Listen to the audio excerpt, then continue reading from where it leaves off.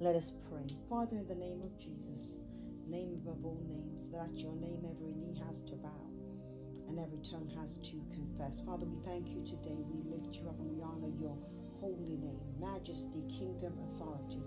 Hallelujah.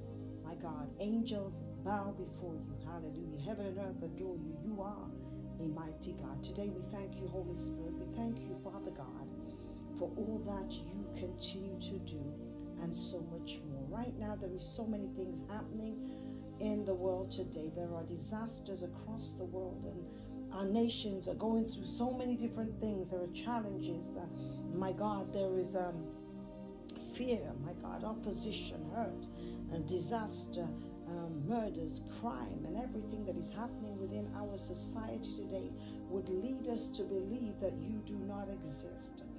But today, God, we thank you for your everlasting power and your covenant that you have from one generation to another. You still remain God. So as you sit high and look low, my God, in the name of Jesus, we uproot every plan of the adversary, every planned attack, premeditated attack in the name of Jesus, we come against it now and we seal the blood around your people. Put the blood around families, around communities, around homes, my God, villages, every area of our lives, God, we place the blood in the name of Jesus. And right now, before your people go to sleep, wherever they are, God, whatever their situation, whatever they may have faced during the course of the day, I pray right now, glory to God, as they lay their heads to rest, your anointing and your protection will cover them.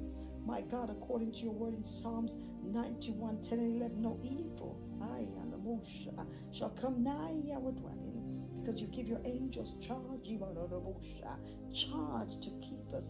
So we pray in the name of Jesus that every angel be assigned and be dispatched to move among us in our community, protect us from danger seen and unseen. I pray for your power and your anointing, God, to release a supernatural breakthrough over those who are struggling, those who are tormented by their past, those who are tormented by right now. They cannot see their future because the enemy is holding them hostage. I pray in the name of Jesus as we rebuke, renounce, and denounce every evil covenant, every altar, every alliance, and every collaboration with evil right now in the name of Jesus. We sever partnerships, we sever connections, glory to God, and we break collaborations with the evil of this world and the partnerships with demonic forces and strongholds in the name of Jesus. And God, as we sever and denounce and renounce, we release your breakthrough, glory to God. We release your deliverance. We release your power. We release your strength over our mind, over our body, over every area. We come against emotional trauma, physical, psychological, any kind of problem that the enemy will try to use and trigger our minds to feel as though we should stay. I come against it now in the name of Jesus. And I release your power over your people. Cover us from the crown of our head to the sole of our feet and allow your blood to wash us and cleanse us. And God, as we pray today that you keep us from every danger, every hurt, every harm.